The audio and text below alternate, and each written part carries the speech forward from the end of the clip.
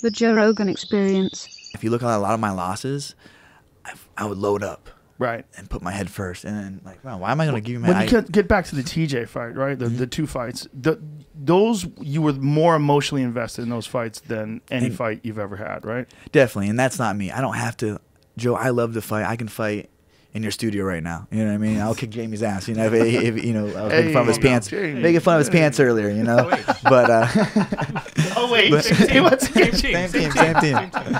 Uh, yeah.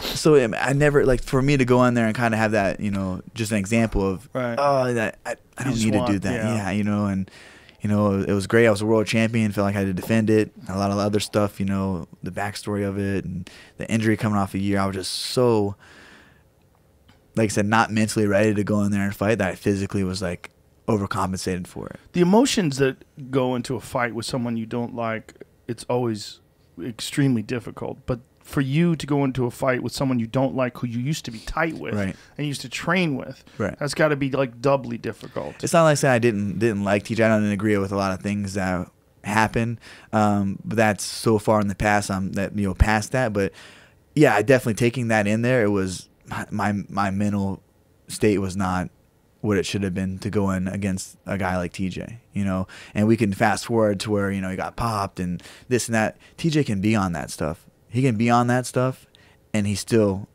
can't beat me when I'm focused and I'm, I'm mentally there and I'm in there and I'm excited. You know, like I'm glad that he's coming back. He's got to prove to himself. You know, and that's a big fight for me to come back to. You know, in the future, it's, it's gonna that's gonna happen. You know, and I feel like TJ caught me at a time where mentally I was not in the best state of mind to go in there and, and, and be a champion, and that's why I was taken from me.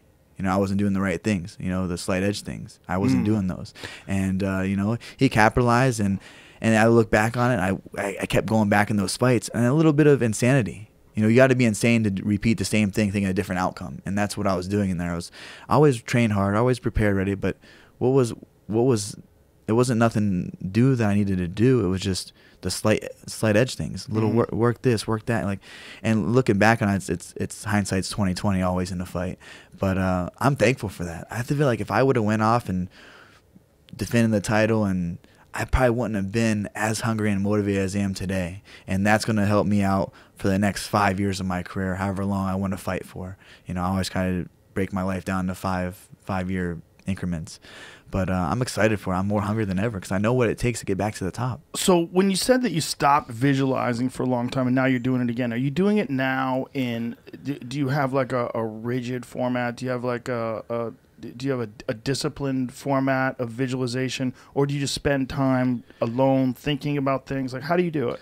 Um, yeah, I, I do I do a format, write things out, I write out goals, three months, six months, year, five years, what I want to accomplish, whether it's financial, why it's you know athletic, why it's personal growth, spiritual growth, family growth, things like that. So I try to prioritize um, what I'm lacking or what's the lower grade that I give myself, and try to focus more on that, so it's all balanced. I feel like I'm trying to balance my life more uh, as far as being. I grew up in chaos. You know, I feel like I can I do well in that, but I'm at a different place in my life and what I want for my son and my future. I want to have that balance of you're not so 100% in this and you know lacking this. You know, I want to make sure it's kind of balanced across of my goals. But I feel like you know going back to talking about getting out of your comfort zone, like doing things that absolutely suck, and you got to mentally put yourself in that position to be Were like, you "All right." in your comfort zone when you were a champion? Like when you say getting out of your comfort zone, I know you trained hard. So like, what is different? I think that I, I removed myself after um, winning the world title. I, I didn't feel like it was everything that I thought it was going to be. In what way?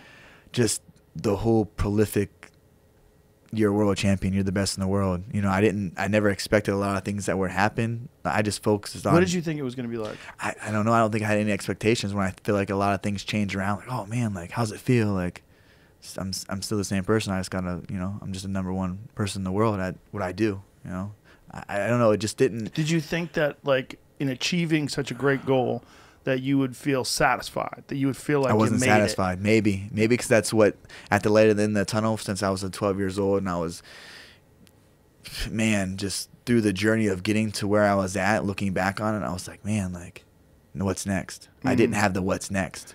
Isn't it interesting? Like this is the thing that gets brought up all the time about fighting is that so much of it is mental. especially at the elite level, like at your Mm-hmm. level. So much of it is how you're approaching all aspects of your life, how your relationship is going, how your friendships Mm-hmm. are going, like what, what, how you, how, what's your relationship with your family. Yep. You know, th- that's so much of how a fighter fight. And then, what is your focus on? Is your focus on adulation? Is your focus on doing interviews and letting everybody tell you you're the shit? Or is your focus on continual improvement? And then recognize, like, yeah, you might be a world champion, but there's a bunch of hungry lions climbing up that hill to try to get to the king. Yeah, you, you see it. I have, you know, Chris Holdsworth, my coach, my trainer, my good friend. He travels with me. You know, we put through hard workouts. You know, this morning we're going to go after your, your podcast. And that's the thing, doing those, balancing that. Okay, I might have, you know, come on your show, absolute honor. I got to train. I got to, you know, I can't take this week off. We're here, you know, looking at homes and doing other things with PNP, my uh, other business partners. So just prioritizing what's important. What's your goals? How are you reaching those goals? What are you working towards? Are you reading help books, self help books? Are you reading, you know, books to help your your mental fortitude to strengthen that? You know, are you doing yoga? Are you doing? Oh, there's so much And, be- resources and staying enthusiastic. and staying too. enthusiastic. I think that's the main thing.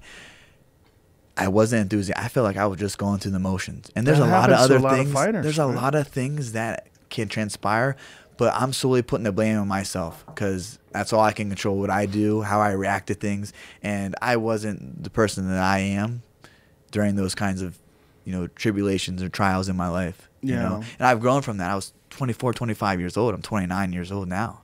You know, I've looked at the game um, just differently. Catch new episodes of the Joe Rogan Experience for free only on Spotify. Watch back catalog JRE videos on Spotify, including clips.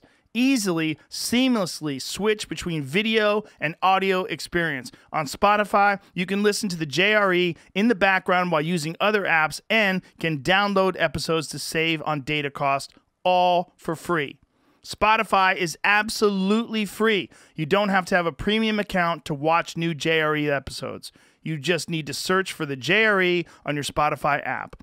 Go to Spotify now to get this full episode of the Joe Rogan Experience.